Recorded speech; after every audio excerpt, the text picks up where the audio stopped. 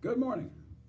Uh, this is Keith Slough, and we're here at actually at the colleges. We're not opening it up to the public, but we do have a few people here today, and uh, who, who are. Uh, I think there may be one more yet yet coming. We're although we're not advertising it. So anyway, I just want to say good morning to you. Today, I'm going to be talking about something that could save your life, and I don't just mean uh, just just keep you in divine health, which is the title of our sermon, how to stay in or how to get in divine health and how to keep it.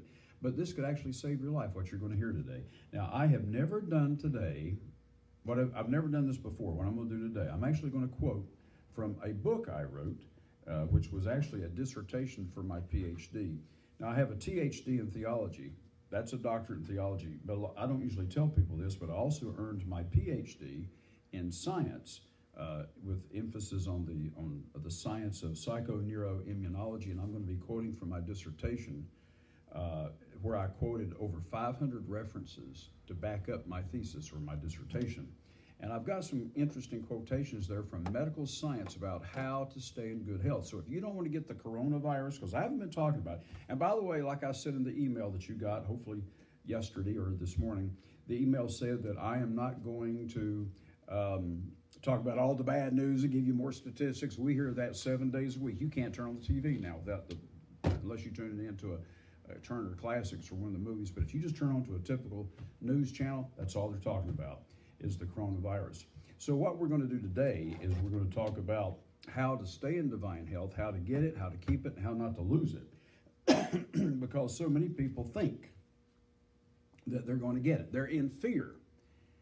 Now, God tells us not to fear. Do you know how many times the Bible says, fear not, fear not, fear not? So we're going to talk about that. So let's ask God's blessing. Now, I've already prayed, but I want you to pray silently and ask God to bless me and anoint me as I teach this and to open up the minds and hearts of the hundreds of people who's going to be watching. Father in heaven, we thank you now for everyone who's who's listening at the sound of my voice, and I ask you to anoint me and help me to do a good job on this, that I can help bless the people who are watching.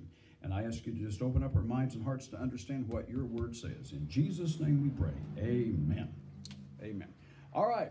Um, now, I'm going to start in Matthew chapter 9. And, and after I read you some scriptures about what the Bible actually says, I'm then going to show you what medical science says that backs up or agrees with what Scripture says. Um, if you don't want to get the coronavirus, first of all, don't walk around in fear. Don't go around saying, "Oh, well, you know, I'm going to be, I'm going to get this thing." I uh, recently had a relative who went to the hospital, and uh, her daughter told me that she is in real fear that she's going to get this thing because she's vulnerable and she's in the high risk category. Apparently, um, even if you're in a high risk category, I'm going to show you what you should do. So pay close attention.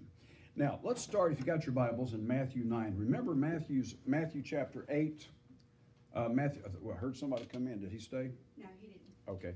So Matthew chapter 8 and chapter 9, those two chapters deal with uh, healing. And if, if, if you want to study healing, just read those two chapters and you'll get basically everything else that's in the four Gospels. Because those two chapters sort of summarize everything about healing and miracles and that type of thing. All right, now, Matthew chapter 9, uh, we're going to start, uh, let's read verse 29 these two blind men came to Jesus and he asked them, Do you believe I can do this? That's verse 28. And they said, Yes. Now listen to verse 29. He touched their eyes, and this is what he said. It's in red letters in your red letter Bible. According to your faith, be it unto you. Well, now, what if your faith is, I'm going to get this disease? What if your faith, you know, what is faith? The Greek word pistos means belief. If you believe that you're going to get it, he said, Well, now, according to your belief, let it be to you. Wow, you better be careful what you're believing. Now remember Mark 11, 23, Jesus said, Whosoever shall say, and he gives an illustration to this mountain. And then in Matthew 21, he says, or to the fig tree. I mean, you can say it to the fig tree, to the mountain, he said, or whatsoever. Whosoever shall say, whatsoever, and shall not doubt in his heart, but shall believe that those things which he says will come to pass, he will have whatever he says. Now, God set it up that way so that when we speak by faith, we can get what we say. That's how God set up the universe. The universe is voice activated. God said, Let there be, and there was. And then God says, Now you can do the same thing. John 14, 12, you can do the same works Jesus did. So, according to your faith, be it unto you. Now, look at chapter 8 and verse 13. If you have your Bibles open, if you don't, you can just uh, write these down and look them up later. But if you have your Bibles, you might want to look this up. Chapter 8 and verse 13. Jesus said to the centurion, because he was asking Jesus to heal his servant, Go your way, and as you have believed, as you have believed, so be it done to you. Now, that's God's will. God's will is his word. You learn that by comparing Mark 3:35 and Luke 8:21. You can find out that the word of God is the will of God. What God says is his will. So here's what God says Go your way, and as you have believed. Now, what are you believing for? Are you believing for divine health? As you have believed, so be it done to you. Now, that ought to scare the pants off of some people because they're they're they're expecting to get sick. They're expecting to go to the hospital. They're expecting that I'll be the first one to get this. You need to quit that because as you have believed, Jesus said, "Let it be done to you." But of course, he's hoping that you'll believe the right thing. What is it that we're supposed to believe during these pestilences and plagues? You know, the coronavirus is a pestilence, biblically speaking. It is certainly a plague. Now, in chapter 8 and verse 17, why did Jesus heal people? Now, verse 16, he cast out the spirits with a word and healed all that were sick. Why? That it might be fulfilled which was spoken by Isaiah the prophet, saying, that he himself took our infirmities and bore our sicknesses. Isaiah 53. Now, the King James in Isaiah 53 mistranslated that, but here they translated it correctly. Jesus himself took our infirmities and bore our sicknesses. That's why he healed people. Now, that means that you don't have to get the coronavirus because he's already taken everything. Uh, I heard a guy yesterday on television, they were interviewing him. I think it was on Dr. Oz's show, and he said that he had gotten the coronavirus and it was much, much worse than the flu. And people die from the flu, from the pain. You know, when you get the flu, most of us have had it, your hair hurts. I mean, your eyeballs hurt, your skin hurts. I mean, just to touch you, it hurts. He said it's much worse. The pain is much worse. Now, here recently, they up until this past week, they have been saying that if you get it, you'll develop antibodies and you'll be immune to it. They've changed that now. At least some medical doctors have. And now they're saying that even though you may have already gotten it, you did not develop antibodies, and you may get it again. In fact, people have already they've already found out that folks who got the virus and got over it, and we call them survivors, are now getting it again. And that means you have a double chance of dying from this thing. Now, I'm not putting fear in you. I'm going to tell you how to have faith. I'm going to tell you how to not to have fear. But what I am saying is this we're up against a real enemy. We're up against a very serious situation. Uh, and you can live by faith and not get it. You can live by faith and never get this mess. But now you need to listen carefully. What I'm telling you today is not typical church. It's not church as usual. This is church, but it's not church as usual. This message could save your life and the lives of your loved ones if you can get them. Ask them to watch this. We archive this thing. Ask them to watch this video because it could save their lives. All right. So as you have believed, so be it done you. That's God's will. Now 1 Peter 2.24 says, by his stripes you were healed, and that's a paraphrase of Isaiah 53. Let me just turn to Isaiah 53. This message today is not just theology. It is very, very, very relevant to what's going on right now today. Now, Isaiah 53, the whole chapter is about Christ, about the Messiah, and what he's going to go through. Now listen to verse 5, one verse. But he was wounded for our transgressions, he was bruised for our iniquities. The chastisement of our peace was upon him so that we could have peace with God. The Lord, let's say, wait a minute. Oh, the, well, verse 6, I jumped over there. The Lord has laid on him the iniquity of us all. I jumped by there by accident, but maybe God wanted me to read that to you. Let me go back to verse 5. The chastisement of our peace was upon him, and with his stripes, listen to this, we are healed. Now, I've given my testimony to the students here and to our church here. We're at Ambassador Christian College here, and this is where we have church and class. Uh, and I've given my testimony of how I was healed of asthma, and um, and I, I'm not sure if I've done it before all of you or not, but very briefly, I mean very very briefly, let me just tell you what happened. When I got a hold of 1 Peter 2.24 one night, I was sitting on my bed reading that, and it said, by his stripes you were healed. And I got a revelation of that. I've been teaching it for years. I've been laying hands on the sick and seeing dozens of people healed. Some of them of incurable diseases. Some of them on their deathbed, and I've seen God heal them. And yet I still had asthma, and uh, because I'm still a student. I mean, we're all students. You should continue to study the longest day you live. You need to be a student of God's Word because you can't learn much if you don't keep studying. And I was sitting there on my bed and I read that verse, By His stripes you were healed. And I remember that Jesus said in John 17 17 that God's Word is truth. Now, it was true that I had severe asthma and it was getting worse with age, and I won't give you the whole testimony. But anyway, it was getting very, very bad. And uh, all of a sudden I said, God, uh, your word is truth, and your word says I'm healed. So I want to thank you right now. I'm already healed of asthma. Now, I didn't know the manifestation would occur anytime soon, but I said, I'm healed right now. I am announcing before God, I'm announcing before the angels, I'm announcing before the devil if he's listening, I'm announcing before everybody, I am healed of asthma. And you could almost hear the demons laughing, saying, Yeah, right. No, no, the Bible says I'm healed. If the Bible says I'm healed, I don't care what the demons say. I don't care what the doctor says. I don't care what my body tells me. I could have an asthmatic attack an hour from now and fall down on the floor and, and gasping for breath. It doesn't matter. If the Bible says I'm healed, I'm healed. And I told God, I said, I'm just announcing. I'm not asking for healing. I'm announcing, God, I have healing. It says so right here. I mean, you can pick up your Bible and show it to him. Look here, Lord, it says right here. Now listen to this verse. By his stripes we are healed. We're healed now. So keep your healing. I'm going to teach you how to keep your healing so you don't get the coronavirus or other stuff that's going around, even including things like cancer and so on. We are healed. Once you get a revelation that we are healed and you accept that revelation, watch what happens.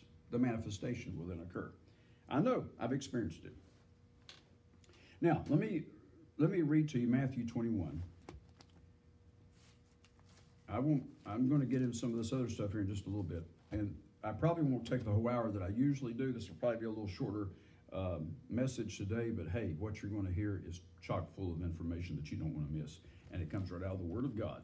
Now, Matthew 21, because even the medical science, scientists that I'm going to be quoting agree with the Word of God and what I'm going to be sh- showing you. Matthew 21 and um, let's see, where's oh, verse 22. All things whatsoever you shall ask in prayer, believing, you shall receive. All things.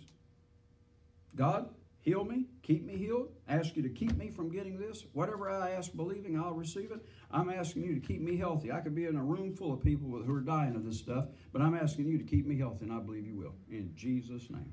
By the way, some time ago I gave a revelation of what it means to ask in Jesus' name. And I've been following that revelation ever since. When I pray in His name, I say, God, I'm asking you as if I was Jesus, and I know you'll do it for Him. John, uh, what is it, 16, 23, whatever you ask in my name, He'll give you. How did Jesus know He'd give it to me? Because He knew that anything He asked the Father, God would give to Him. Remember on the night when He got arrested and Peter pulled out his sword and he was going to kill them all? He tried to cut the guy's head off. That's why he ducked and off went his ear. But he tried to cut his head off. And Jesus said, Put up your sword. Don't you know that I can right now pray the Father and he shall give me? Not he might or he could if he's in a good mood. He shall give me right now legions of angels. I don't need your help, Peter. All I got to do is pray the Father. Jesus had such confidence that God would answer his prayer. He said, All I got to do right now is pray the Father, he'll send legions to defend me. That's how much confidence Jesus had that his prayers were being heard, that his prayers would be answered. He said, Now, hitherto you've asked nothing in my name. Now ask in my name. Ask the Father in my name as if you were me. He'll give it to you. Why? That your joy may be full. So when I go to God and pray, I say, Lord, I know you'll. Yeah, I know you. If Jesus were asking, I know you would. Now I'm not Jesus, but I'm asking in His name, and I know you'll give it to me. And I just believe it. I just believe it. Now, believe doesn't mean you kind of sort of are inclined to kind of accept it. Believe means you know it. Uh, the definition of faith is when you know something. A lot of people think faith is wishful thinking, you hope it's right. Um, I, you may have heard me tell this story before. Years ago, I was sharing with my mother the definition of faith. I said, faith is when you know something is true. I said, for example, I have faith that, that the sun will rise tomorrow. My mother said, You don't have to have faith for that. You know that's going to happen. I said, That's it. That's what faith is. When you know something is going to happen. See, the sun hasn't risen tomorrow yet, but I have faith it will because I know based on the laws of science that it will. I know based on the laws of God and the promises of God that I'm healed. By his stripes, I'm healed. I'm healed right now. Why should I get sick? I'm healed right now. Now, Jesus said, live by every word of God. I'm going to live by Isaiah 53, verse 5. What about you? I'm going to live by 1 Peter 2, 24. What about you? I'm going to live by Matthew 21, verse 22. What about you? Are you going to live by it? If the Bible's just a religious book, toss it aside. You don't need it. But if it's the Word of God, live by it. I gotta, I gotta be careful. I'll start preaching here in a minute. So now let me go back to Matthew 8. Going back to that again. Those two chapters, 8 and 9, will really help you. All right, Matthew, Matthew chapter 8. And let's go to verse 26.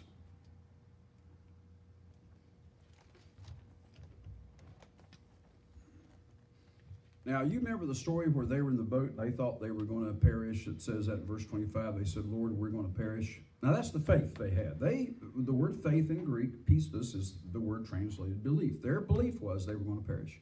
So he stated his belief. We perish. That's verse 25. Verse 26, red letters, read it.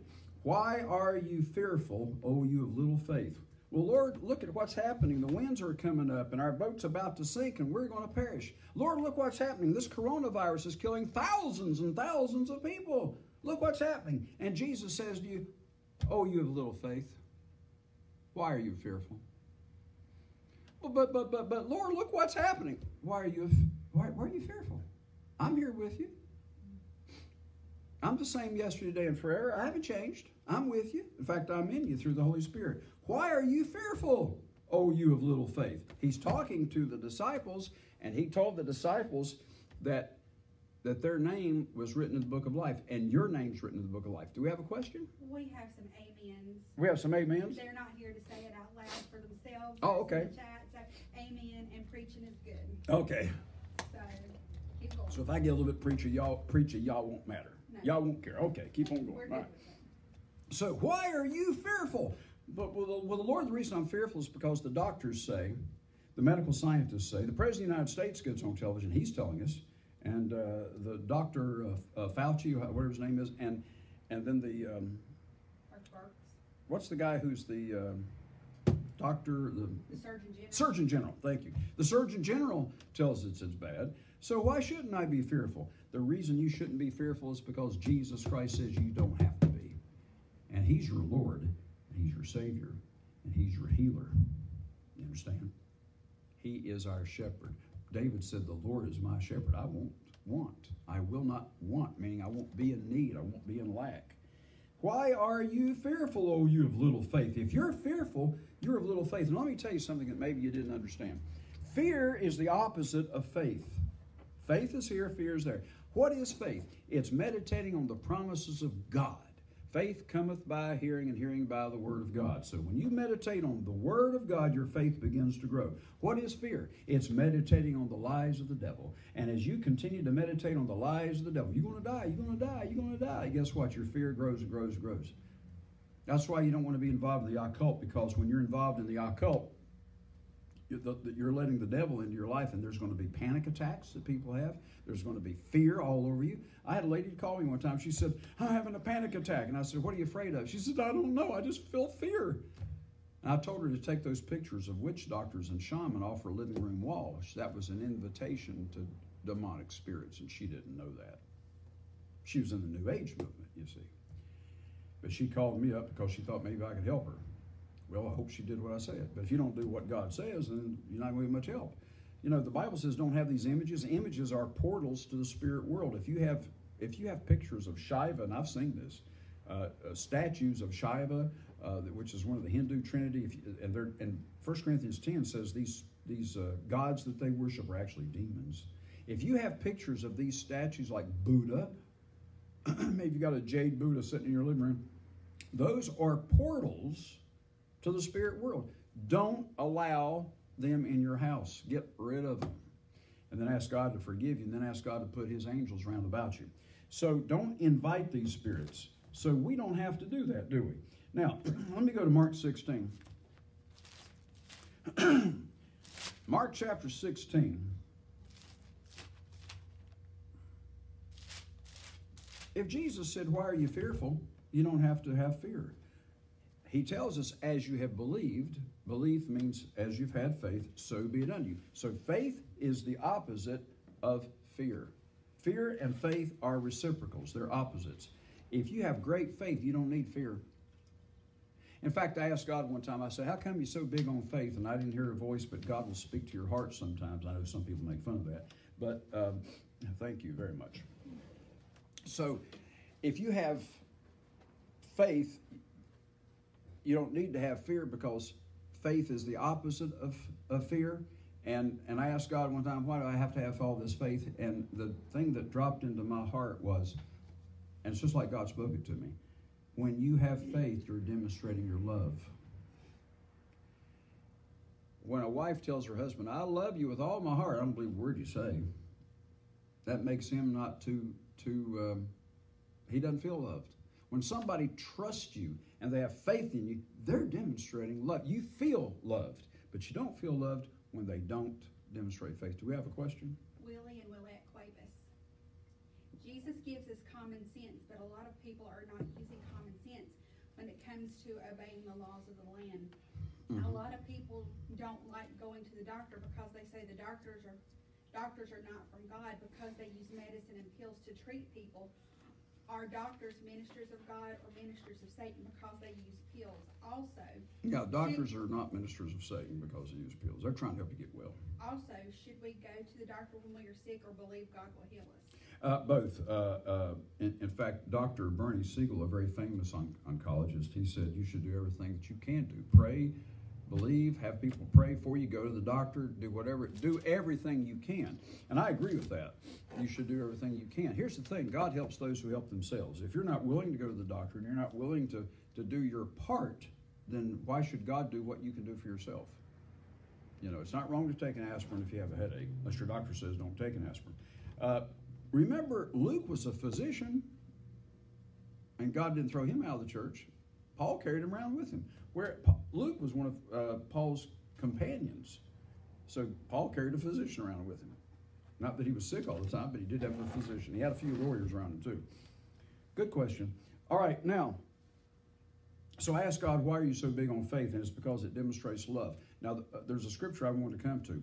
First John, it says, perfect love cast out fear. Perfect love, First John one. it's in First John, on the right page, I think. Anyway, it says, perfect love cast out fear. If you have perfect love, you're not going to have fear. If you have perfect love, you're going to have faith. If you have perfect love. All right, Mark chapter 16, Jesus said this. These signs, verse 17, Mark 16, verse 17, these signs will follow them that believe in my name. They'll cast out devils. Because when Jesus did it, as Jesus Christ, the devils left. If you do it in his name, it's like Christ himself is doing it, and therefore they'll leave. They'll take up serpents. You ought not do that on purpose, but Paul did it by accident, and God didn't let him die from it. And those serpents over there are like cobras. And so they thought he'd fall down dead any moment. He just kept right on going. He just trusted God. And if they drink any deadly thing, now don't drink deadly things, but if you do by accident, it shall not hurt them. If you get around somebody with this coronavirus, don't be in fear. Be in faith, trust God, and say, it's not going to hurt me. Now, some people say that's arrogance, that's pride. No, it's believing what God said. I'm saved. I'm going to live forever. Is that arrogance?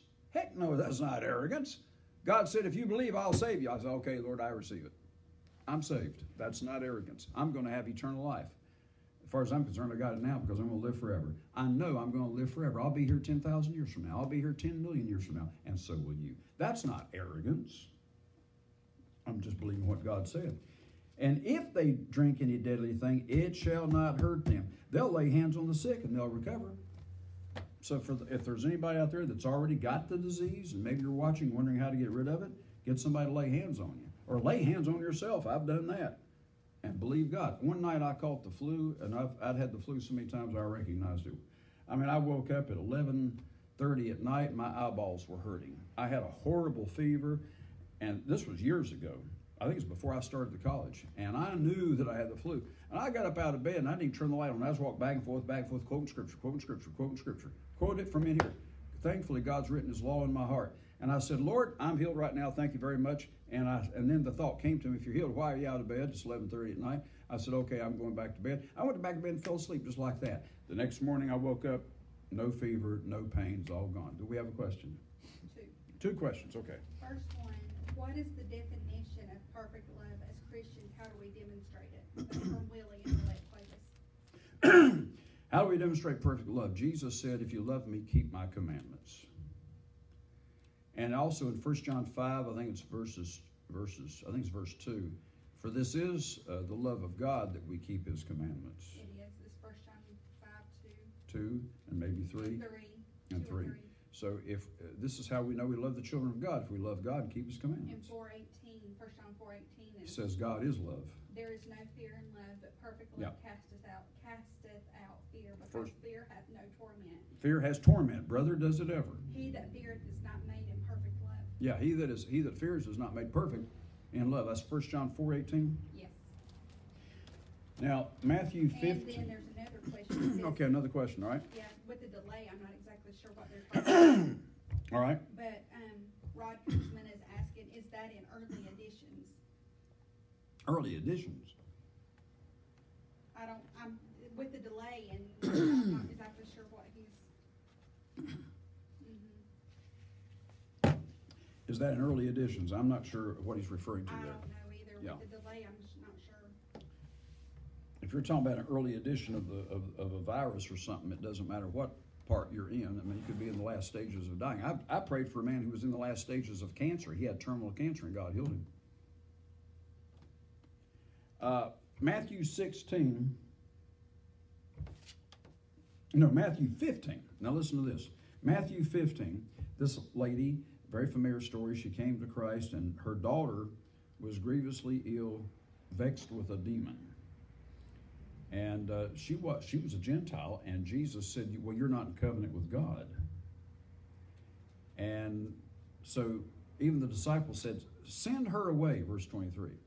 He said, "I'm not sent, but the lost sheep of the house of Israel." And he still didn't heal her daughter, but she had great faith. Verse twenty-eight. Jesus realized that she had great faith, and here's what he said: "O woman, great is your faith. Be it unto you even as you will."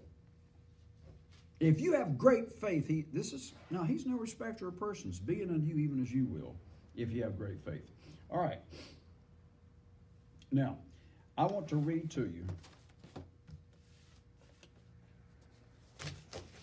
some quotations here.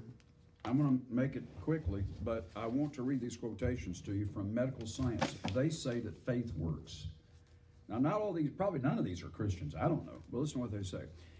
Uh, in an interview with Blair Justice, PhD, professor of psychology at the University of Texas School of Public Health in Houston. So these are not just the barber down the street and his opinions. These are experts here. He wrote a book. He's he is a an award-winning medical writer, and he wrote a book called "Who Gets Sick: How Beliefs That's Faith, Moods, and Thoughts Affect Our Health." And this is what he said. Habitual negative thinking can be a risk factor in determining our susceptibility to different types of cancers. Now, at that time, nobody ever heard of the coronavirus, but it still affects various things, can affect uh, what, we get. So, you know, not to get cancer, not to get all these other diseases, including the, this virus going around, don't have negative thinking. People with a strong sense of control over their own lives tend to have a positive outlook that enables the immune system to do its work properly, making it less likely that these cancerous cells will develop. If you don't want to get cancer, don't be a negative person. And if you don't want to get any disease for that matter, Dr. Justice adds that, quote, feelings of helplessness, unquote, contribute to ill health. Feelings of loneliness have been found to be a factor in lower immune functioning, but social support seems to strengthen the immune system. Now, let me tell you something. Uh, doctors cannot heal you with a pill. What they do is work with your immune system. So if you keep your immune, immune system strong, then you're more likely not to get sick to start with. And if you do, you're more likely to recover and recover more quickly. Even eating a proper diet is not enough to guarantee our immune system is working properly. Stress can damage our health as well. Hans Selye, MD, in his book Stress Without Distress, he, he says there's a great deal of evidence that positive emotions, such as love and humor, and possessing a positive mental attitude can strengthen our immune system and help protect us against disease, any disease, not just cancer. In her book, Lick the Sugar Habit, Nancy Appleton, PhD, talks about eating excessive sugar can mess up your body chemistry. She says, quote, we exhaust our immune system. She insists that we take responsibility for our own health and avoid sugar when possible. And I just had a few helpings of ice cream yesterday before I read this. And I wrote it. I'm quoting these guys. Dr. Lendon Smith, former clinical professor of pediatrics at the University of Oregon Medical School, uh, he said if stress is chronic and if the body is not receiving the proper nutrients, some disease, some disease will likely develop. now, there's a book written by called Sugar Blues, written by William Duffy, who was married to the famous legendary actress Gloria Swanson. I got to hear her speak one time and actually had lunch. I and about three or four other guys, we had lunch with her husband, William Duffy. He didn't talk about Hollywood. What he talked about was diet and, ex- and nutrition and sugar. He wrote this book, Sugar Blues. And, and he said that once he changed his dietary habits, specifically regarding excessive intake of sugar, that he began to even look younger. Uh, he claims that by accepted diagnostic standards, our entire society is actually pre diabetic. Fighting disease. I didn't get to meet his wife, unfortunately, but I did get to have lunch with him and talk with him, ask him some questions. Do we have a question? So being happy is the best thing to strengthen our immune system? It is one of the best things you can do is being happy. Have a sense of humor. You know, if you haven't laughed in a while, watch the Three Stooges. And if you hate them, buy you a puppy because you'll start laughing with them. Really, pets can help you laugh. In the book Fighting Disease, the complete guide to natural immune power, because you've got to strengthen your immune system, by the editors of Prevention Magazine, uh, they came up with a 30 day program to help a person re- retain or regain their health and strengthen the immune system. Um, here's what they said develop the power of positive feeling. I'm not going to read it all. It, take a vacation from stress. Set up an exercise program that you can stick to. Regenerate your immune system with sleep. Get proper sleep. Take control of your personal environment and reach out to the folks around you. So you want to be social. You don't want to be a recluse or be a hermit. They guarantee that if you follow this program, you'll have strength in your immune system to enable it to resist, quote, resist everything from marauding microbes to prowling protozoa. Now, I won't read all of these things here. They've got 30 different things here, and I'm just going to read you a few of them, but listen to this. Put the B vitamins to work. That helps stress. You got to get rid of stress, keep your immune system healthy. Develop an image of health. See yourself healthy. Now, if you see yourself in the casket from dying from this disease, you better watch out. You're hurting your immune system. See yourself healthy. See yourself victorious and a conqueror. The Bible says we're more than conquerors through him that loved us. Develop an image of health. Sneak exercise into your life. Start a walking program. If you're over 35, you need to check with your doctor first, they said. Begin walking at a brisk pace three to five times per week or whatever is comfortable, and then add a few extra minutes to each walk over a period of time as you continue to build up your health. Start a food diary. Make sure you're not eating a lot of junk. Make sure you're eating the green stuff and the various colored vegetables. Read the comics. That's good for your health to read the comics. Getting upset will affect your immune system. This is all part of reading the comics now. This is number 11 here. Approaching stressful situations with a sense of humor actually strengthens the immune system. Studies have shown that laughter actually increases antibody levels. Learn to laugh and let go, they said. I think his name was Norman Cousins. He was dying. He had a terminal disease, so he quit work. He was a column, syndicated columnist some years ago. So what he did was he quit work, locked himself in, up into a, in a hotel room, and bought all these videos that he could find with the Three Stooges and the Marx Brothers, and he sat there and laughed and laughed and laughed until he laughed himself silly and his disease went away. And he wrote about it because he was a journalist. He got rid of his terminal disease from laughter when the doctor said there's nothing we can do. See, the doctor can give you a pill that works with the immune system, but if your immune system is shot, what can the pill do? So he built up his immune system through laughter. It actually affects the antibodies in your body. So what I'm telling you today could save your life. Uh, go to bed and uh, at the same time and rise at the same time. That helps your immune system to regenerate itself. You should even do this on, on weekends. Go to bed at the same time, get up at the same time. Use sunscreen. Uh, short term research has now proven that short term effect of overexposure to sunlight results in a suppressed immune system. Too much sunlight. Don't be around smoking. Don't be around tobacco. Secondhand cigarette smoke can suppress the effectiveness of your immune system.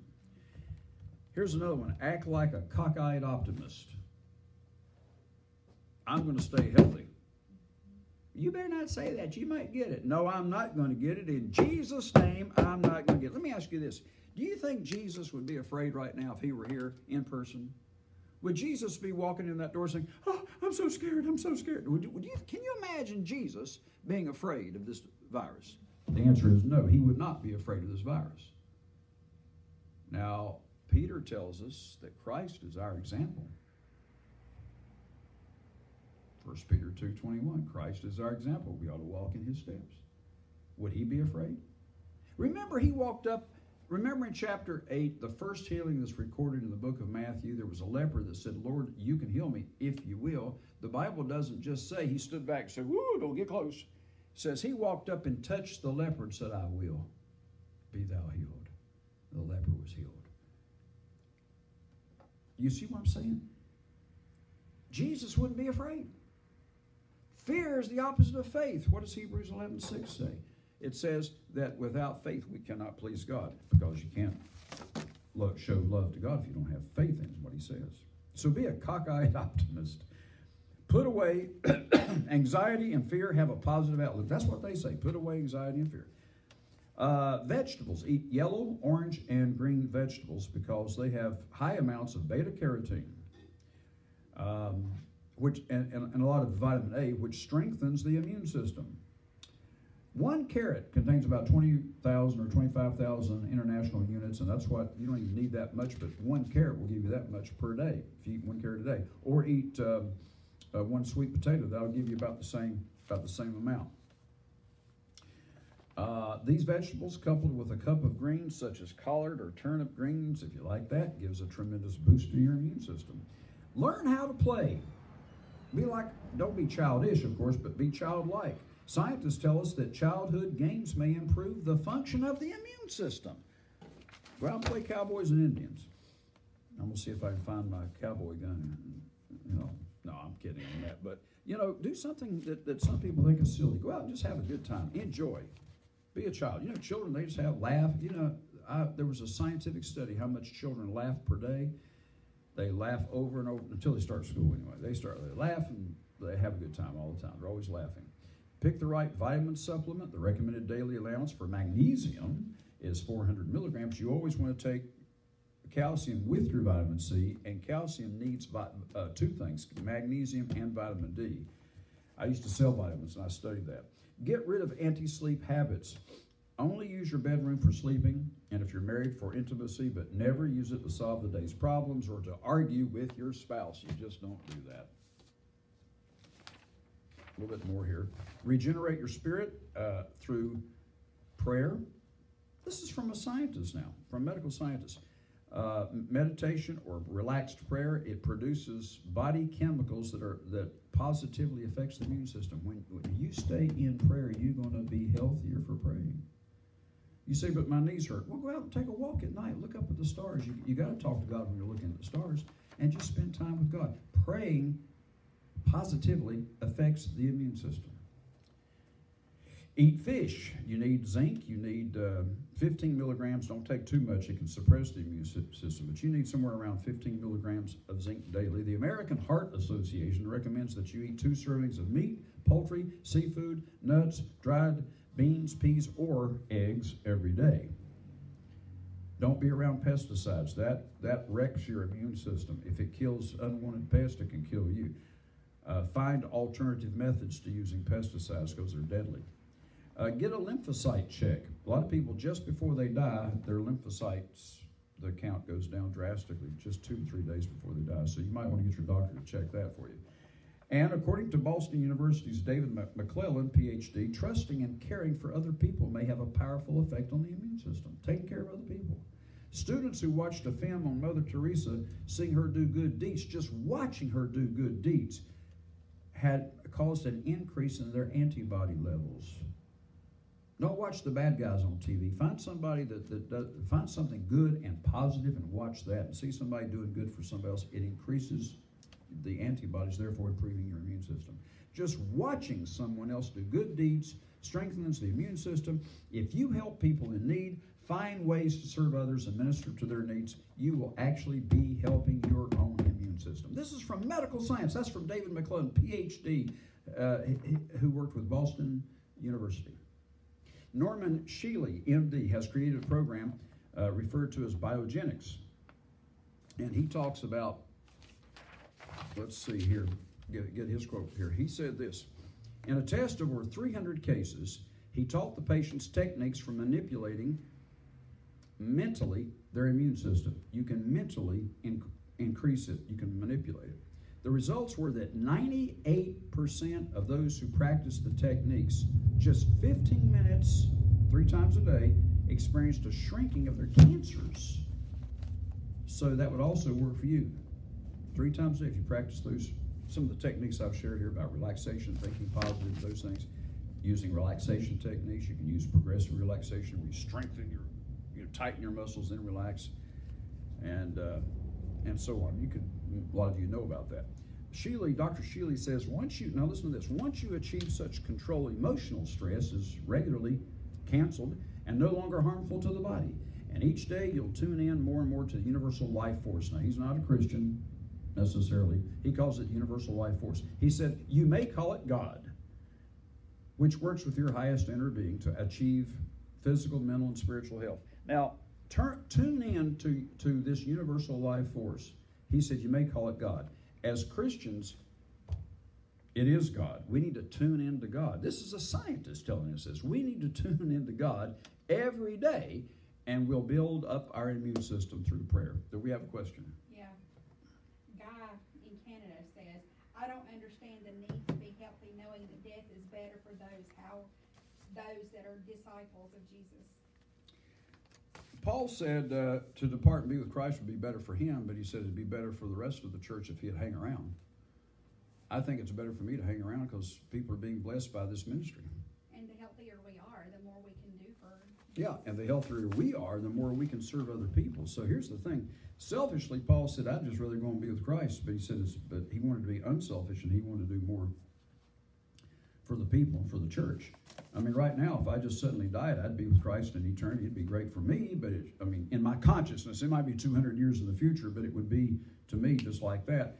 But yet, there's so many people that would not be blessed who are being blessed by this ministry. Do we have another question? Rod Kuzman says, My New King James says Mark 9 through 20 is not in the original text. The New King James says that? What he That says. Mark 9 through. 9 through 20. Oh, oh, chapter 16, 9 through 20. The New King James was written by the editors of the NIV, who who uh, also believed that that. But remember, the NIV was not based on the original Greek, and the New King James is simply the Old King James updated. But when they tell you that Mark 16 verses 9 through 20 is not in the original Greek, it's true. It's not in the Sinaiticus or the Vaticanus, but it's in more than 95% of all Greek manuscripts. But the NIV chose to use the Westcott and Hort text, which was based on those corrupt manuscripts. Yes, it is in the original. And one final thought about that. Why would Mark tell you about the death of Christ and not tell you about his resurrection? Because verses 9 through 20 talk about his resurrection. If you read the NIV, by the time you get through, you're going to have so many doubts you won't believe any of it. Because it, on the bottom of every page, just about, it says, this may not be in the Greek, this may not be in the Hebrew, this may.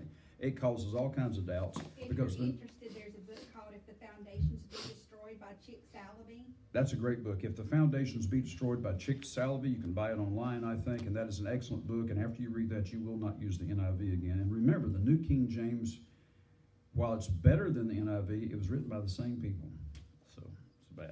To maintain normal fitness, says Dr. John Danchik. He is president of the such such medical association, chiropractic association. It says he said you should exercise at least 30 minutes a day, four times a week. Exercise strengthens the immune system. It enhances self-image. It's an aid to sleep. It's beneficial for releasing tension and reducing overall stress, which can suppress the immune system. Don R. Powell, PhD, author of A Year of Health Hints 365 Practical Ways to Feel Better and Live Longer, that's the name of the book. He said that you need to listen to relaxing and soothing music. That's not heavy metal. Practice autogenic training where you're using biofeedback techniques, where you're you know feeling uh, very relaxed. I won't get into that now. I don't have time. But and I've actually been hooked up to a biofeedback machine, and I could go down slow my brain rhythms down. That's where you can actually benefit health health wise. Uh, you can gauge your progress until you know yourself to be relaxed. A little bit more. Dr. Powell also suggests we laugh and cry to release tensions. Learn to accept criticism. Stop worrying. And what are people doing? Even church people. They're worrying. They're in fear over all this mess. Slow down from a hectic pace. Budget our time. Overcome workaholism. Keep cool in a crisis. Don't lose your head because you have Christ with you. The book Everyday Health Tips 2000 Practical Hints for Better Health and Happiness, written by the editors of Prevention Magazine, they suggest you buy a pet. Pets can lower blood pressure, they can raise the chances of surviving a heart attack, and can boost your health and morale. It, uh, when you hug somebody, then it releases endorphins in your body. If, if you get a good hug from somebody, and if you don't have anybody to hug, hug your dog. They say even hugging a teddy bear can help. Well, that's the next quotation here. Today, a growing number of MDs and psychologists are prescribing hug therapy for health maintenance. Some doctors have suggested there are health benefits from cuddling teddy bears. If you don't have anybody else, cuddle a teddy bear. Wow. Our relationships, now this is science. This is not preachers who are a little bit, you know, these are medical scientists today. Our relationships with people, our attitudes and thoughts, how we handle stress, our, and our positive or negative outlook on life will be a determining factor in our overall health. People with pets have been found to recover faster from illnesses than those who have no animals. Quote, pets also seem to help a person to be more optimistic, another quality that contributes to better health. Anna Freeman says most of what we worry about doesn't. She's got a point there. She's Anna said most of what we worry about doesn't happen anyway. That's true. And Carolyn says hugs, yay. Carolyn says hugs. Okay, yeah, we need hugs. Carolyn's right. Mm-hmm. Dr. Suzanne Kobasa, uh, she says people, I'm quoting now, this is a quotation, people who use religion or faith to give them a sense of meaning and higher purpose have a health advantage. These atheists, if they if they're good, if they're even around coronavirus, they just look at it. They, they may get sick. They don't have the advantage you and I have. You and I have a health advantage. Every time I talk, my nose itches. It doesn't itch unless I'm talking, and then it itches. It rattles my nose. I don't know what to do about that. When I, have been doing radio now for all these many, many years, and nobody sees me if my nose itches. But when I do television or doing this, you know, I start talking. I even do it in the classroom. Start talking, and it makes that happen. People who use religion or faith have a health advantage. She said um, uh, they have more control over how their body reacts and what stress chemicals it produces. In an interview with Gerald Jampolsky, MD, and co-worker Diane V. Uh, I can't pronounce the name, but but uh, they're with Prevention Magazine also. They said Dr. Polinsky is convinced that thoughts can affect the course of an illness. He said, and then she said, I keep thinking here of the word control. When people are consumed with fear, now that's the problem I'm addressing today. If you have fear that you're going to get this virus. Remember what Job said? The thing that I, I'm looking at the clock back there so I don't go too long. The thing that I greatly feared is come upon me. It's almost like what we think about, we attract. Almost. He said, thoughts can affect the course of an illness. And then she said, when people are consumed with fear, when they're running scared from illness or whatever, they lose control over their perception of what's occurring. They lose control. And you don't want to lose control of your, of your health. she also said this listen to this. Feeling constantly helpless can upset our endocrine balance, elevating the immunosuppressant hormone cortisol. That suppresses your immune system and destroying its natural diurnal rhythm, like your like nightly rhythm. Chronic helplessness also depletes the brain of the vital neurotransmitter norepinephrine, which is like nor. Uh, uh, what's the other, what's the brand name for epinephrine? Um, adrenaline. That's the brand name for adrenaline. So there's something called adrenaline and noradrenaline. It's just simply epinephrine and norepinephrine is all it is. And it can mess that up. Chronic helplessness. Oh, I'm helpless. What am I going to do? No, don't feel that way. Don't feel that way. You have Christ. Immunological studies, too, reveal that the inability to feel in control of stress rather than the stressful event itself is the most dangerous thing to immunity. The feeling of, of stress can be worse than actually the, the event itself. Just the fear, like, like Anna was saying, the worry itself can be, sometimes that never happens. And the worry itself can affect your immune system. Most of us eventually will feel that life is out of control in some way. Sooner or later, you're going to feel that way. It's going to hit you. Just a little bit more. In his book, Stay Alive All Your Life, Norman Vincent Peale suggests that we replace worry with faith in God. He further advises that reading the Bible will encourage faith, absolutely, and that one should commit to memory those passages dealing with faith. I don't necessarily commit them to memory, but I just read them and read them and read them until they stick. Worry, frustration, fear, panic, and unhappiness describes the one who senses he lacks control in his life. As psychologists have said, these ingredients leads to sickness and disease.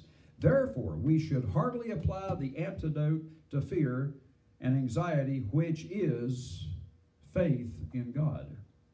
Another way to eliminate anxiety is through perseverance, no matter how hard the going. Charles Haddon Spurgeon, the famous theologian of the 19th century, said, By perseverance the snail reached the ark. Giving up produces a feeling of anxiety and failure, and that can suppress your immune system. Now, we have another question? Okay, we'll take it. Meditation and Beverly meditation and yoga are touted as being great for stress reduction. What do you think about those activities? I have read that some Christians think they are evil in some way. As long as you don't get involved in the religious aspects of yoga, what that does is that stretches the muscles and it keeps you uh, flexible. That oven by itself, I've even heard people like Pat Robertson say that's fine. Just don't get into the, the prayers of the yogas and things. Don't don't mess with that. But the actual exercise itself has actually been proven to be good for you. Some of the different. There are different kinds of yoga, and some of those. Yeah, like Kundalini yoga. That's you don't want to mess with that. Is, yeah, you want to be careful about that. But the basic yoga, like the, the poses and the stretches. And, yeah. But if you're going to meditate, wouldn't it be better to instead of just meditating like they teach you in a yoga class to sit there and pray while you're doing it? instead? Well, let me tell you this. Uh, Dr. Herbert Benson with Harvard University Medical School did a study of transcendental meditation. And he found out they lowered their stress, they improved their immune system. Just keep the religious aspect of it. And to answer your question, you can meditate and pray at the same time. You can. Meditation, as the term is now used in medical science, refers to lowering your brain waves from the beta wave frequency, which is 8 to 13, I'm sorry, from, um, from 14 to 21 cycles per second. That's what we're at right now. If you're playing basketball, it's even higher than 21 cycles per second. Your brain beats just like your, your heart beats. Your brain beats much faster. There's a, there's a brain, I don't know what to call it, it, it, beats.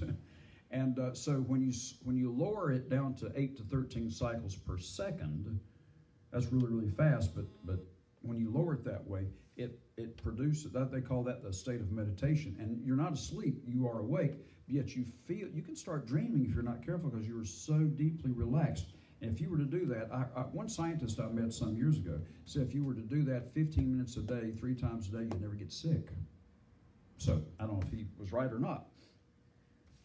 but he had studied all of that for like 40 years. now, here, when I went after my PhD, my PhD is in primarily in psychoneuroimmunology, and Dr. Dr. Borysenko pioneered that particular science.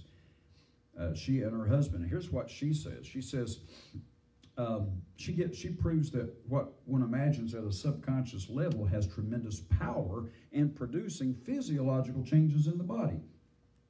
And then she gives an example. Women with morning sickness were told that, that they would receive a powerful anti nausea drug. But they did an experiment. Rather than give them an anti nausea drug, they were given syrup of ipecac, a powerful drug used to induce vomiting in cases of poisoning. But because they told the women that's what they were giving them, and the women had faith, they believed what they were told, the results were that most of the women reported reduced nausea and had few stomach contractions due to the power of their own belief, which was stronger than the drug. The subconscious mind. Jesus didn't say believe in the head. You know in the head, you believe in your heart. What you believe at a subconscious level can affect your health and keep you alive during all this mess that's going on. Dr. Carl, now by the, way, let me read to you John 9 here. I want to read you another scripture. John 9. I may hold you overtime. I thought I'd get out early today. I'm trying to. John chapter 9, verse 1. They saw this blind man who was born blind from his birth, and the disciples said, Why is he blind? Did he sin? Did his parents sin? What happened here? And Jesus said, said No, he he wasn't nobody committed a sin that caused this particular blindness. People can just simply be blind because of medical problems or whatever at birth. So uh, he, he did this. Verse 6 When he had thus spoken, he spat on the ground right in front of the blind man who could hear everything that was going on. He spat on the ground and made clay of the spittle, and he anointed the eyes of the blind with, uh, with of the eyes of the blind man with the clay. And then he said to him, Go wash in the pool, pool of Siloam. What was Jesus doing? In that day and time, they believed that spittle or saliva had medicinal properties. So Jesus condescended to that man's level of belief and said, okay, this man believes that spittle would, it might work to heal his eyes, so I'm going to work with what he believes. So he took, he could just laid hands on him. But the man, apparently, I don't know, Jesus may have had a conversation with him before all this happened. We don't know. But anyway, he took spittle, put some clay, put it on his eye, and I go wash. And it worked. You have to find out where a person's level of faith is and work with them at that level. What did Jesus do? Well, there's such a thing called a placebo. now, the mud didn't do a thing for his eyes. The spittle sure didn't do anything for his eyes. However, uh, the placebo effect may have kicked in, and Jesus, who invented everything, John 1 3, everything was made was made by him. He invented the placebo effect, which is simply our subconscious healing our body. In other words, even an atheist has inner healing in his body even though he doesn't believe in God. He gets a cut on his finger. The body is, is, is created in such a way to heal itself.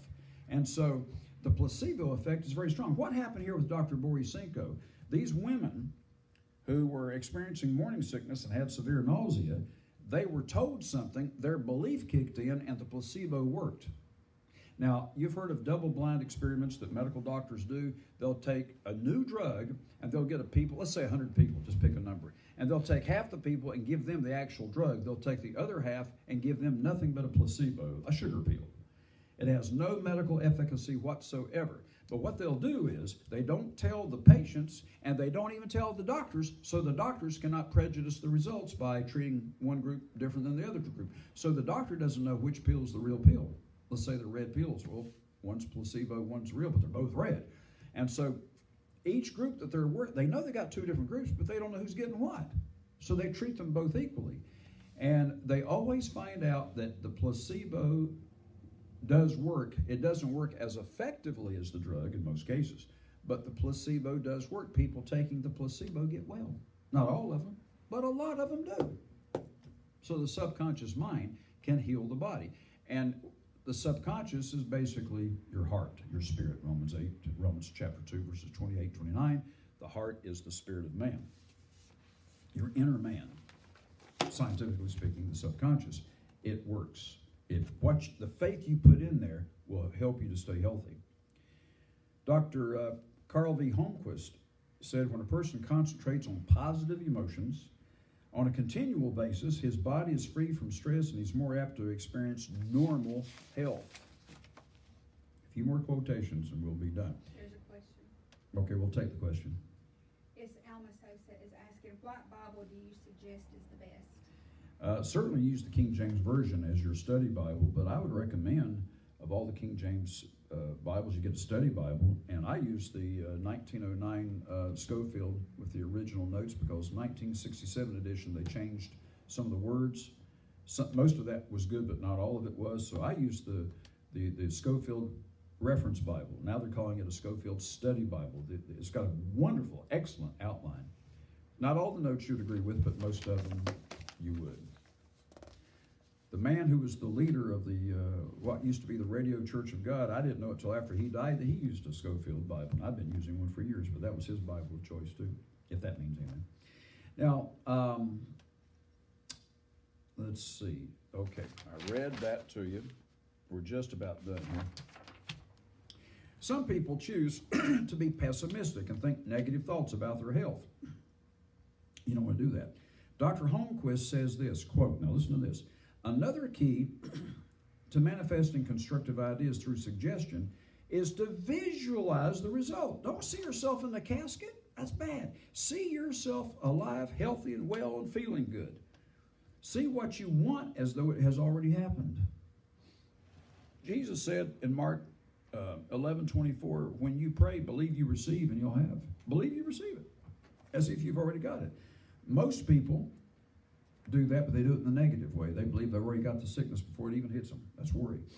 They may suggest the positive, constructive idea, but then they visualize the opposite, and they, they, then they confuse their mind. So they, they say, okay, I'm going to stay healthy, but then they see themselves sick. So to keep it straight, suggest what you want, says Dr. Holmquist, and then visualize it by using the imaginative faculty to see it as though it has already come to be. That's from a medical doctor. Negative, negative emotions and wrong imagination can also cause sickness if engaged in repeatedly. Repetition of either good, constructive imagination or repetition of negative imagination is the key to the effect. Dr. Uh, Paul F. Daniel, in his book Mind and Energy, agrees that repetition is the key in influencing the powerful subconscious mind. What you repeat over and over is going to hit you. Last page. Um, in their book, Succeed and Grow Rich Through Persuasion, Napoleon Hill and co writer E. Harold Keown had some things to say. And uh, they agree with Dr. Paul Daniels' postulate that you can draw the things you desire to you. The authors say, form the habit of keeping your mind occupied with what you desire and keeping it off the things that you don't desire. Don't be thinking about getting sick, think about staying healthy. Your thoughts tend to manufacture the circumstances that occupy your mind the most often. Well, I'm already out of time. I've got one more scripture to give you. Can you just wait one more? Well, let me tell you something, one more about. I'm going to go to. Um, actually, there's two more. I just thought of another scripture I need to give you too. Um, there was a man who uh, got well. He had a he had a very serious illness. Let's see, if this thing works. There we go. Uh, he was told he was going to die, and the doctor said there is a very, very powerful drug in France, but it's very expensive and it's still experimental. But would you like for us to order that for you? Well, the guy was dying. He said, sure. So he, they said it'll come to Paris, come from Paris, and uh, it's going to be very costly, but it just might save your life, and it has saved a number of people's lives. So he was very excited. So they ordered this very powerful drug, and uh, they gave it to the man, and guess what? He got well, totally, completely free of the disease. Uh, some months or some years later, he was he picked up a magazine that had an article about that very drug, and he remembered the drug that saved his life. He said, "Oh, I want to read that."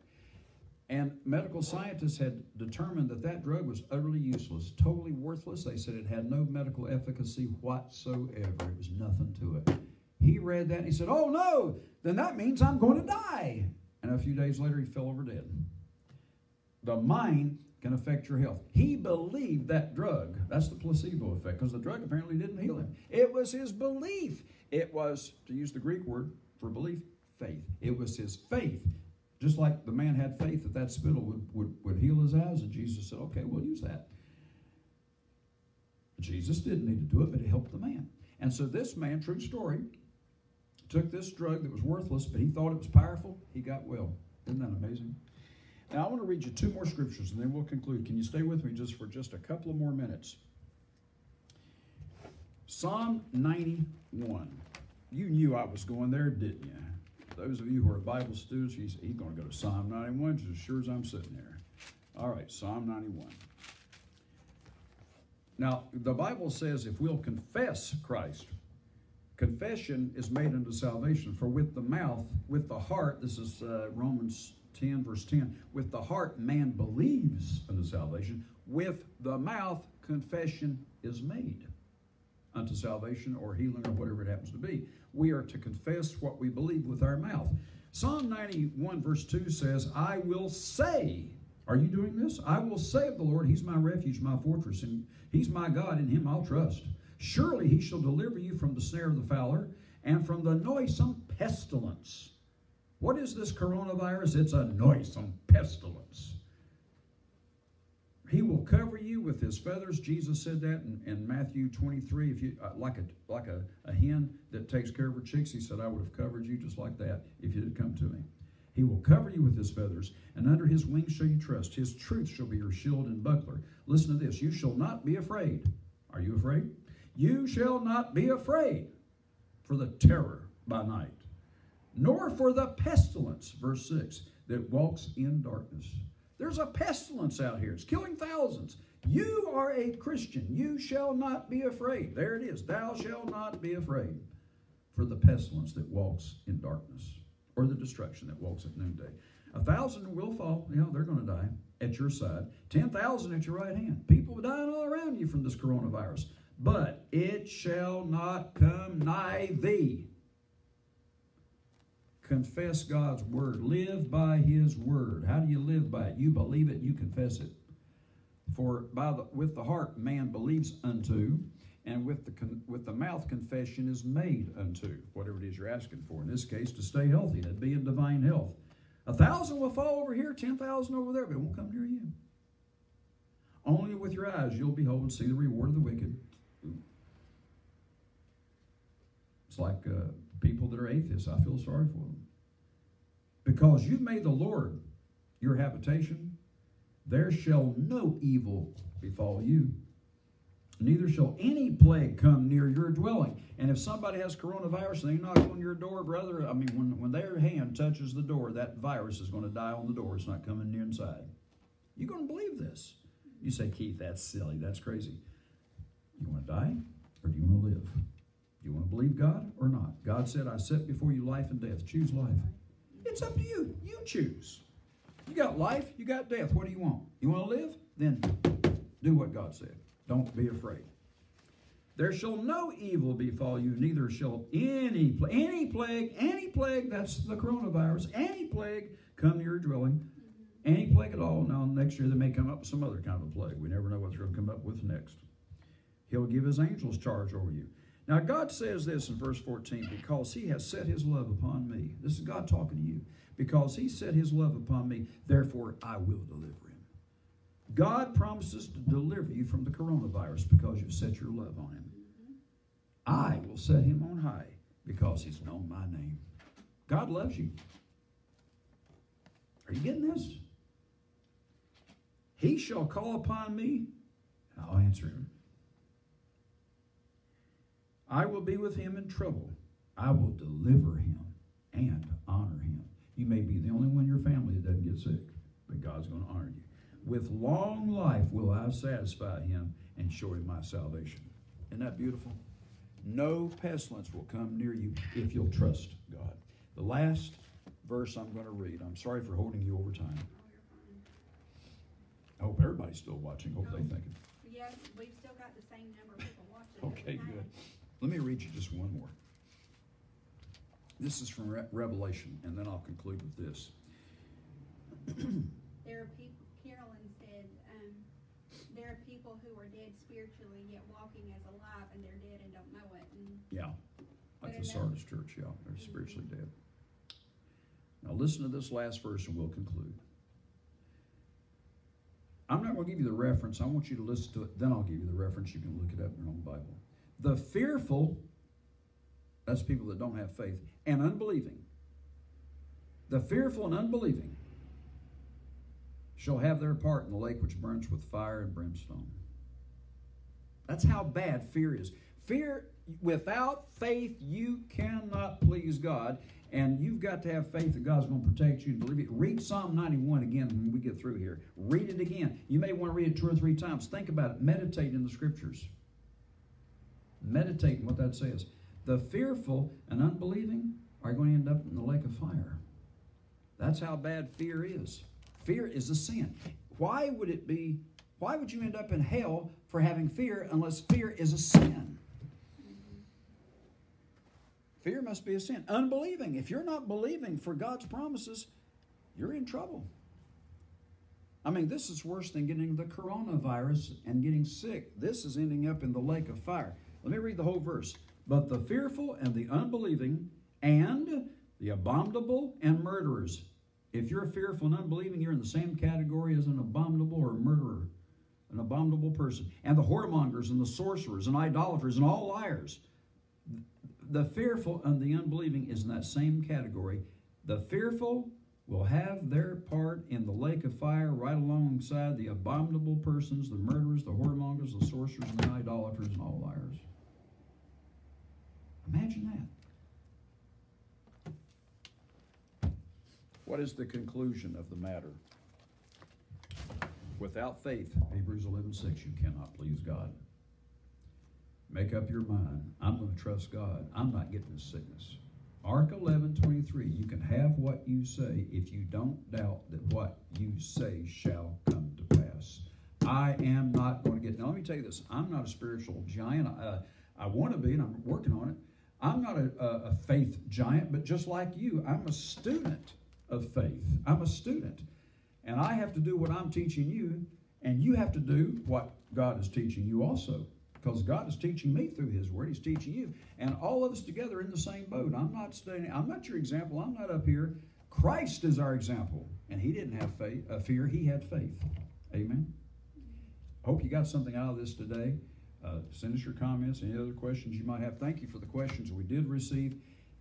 Go over these scriptures and think about them. And if I missed any comments, because sometimes they come in Yeah. fast or they, for some reason, don't update on my screen till I go back and come back in, and I'll get Dr. Slough to come back and look Yeah. at all the comments and he'll respond to Yeah, anything. she might have missed some of your questions, and it wasn't on, on purpose. A No, lot, it's not on purpose, I promise. not on purpose, she promises. So if she did, you can still send them in. So God bless you all. God keep you healthy and strong. But another, I, I'm just gonna say. Okay, do we have something Did else? you mention Leviticus eleven about the health? uh, Yeah, Leviticus 11, you need to stop eating those unclean animals because that's where the coronavirus came from in the first place. So they tell us that in China, these people were eating unclean animals and got sick, and then it became a contagious disease. So stop disobeying God. Faith without works is dead. You got to have faith, but you got to be obedient too. God bless you all. Please uh, share this with other people, and I'm sorry for holding you late. Tune in next week. We'll, we'll have some more. I don't know what God will give me next week, but be watching every week.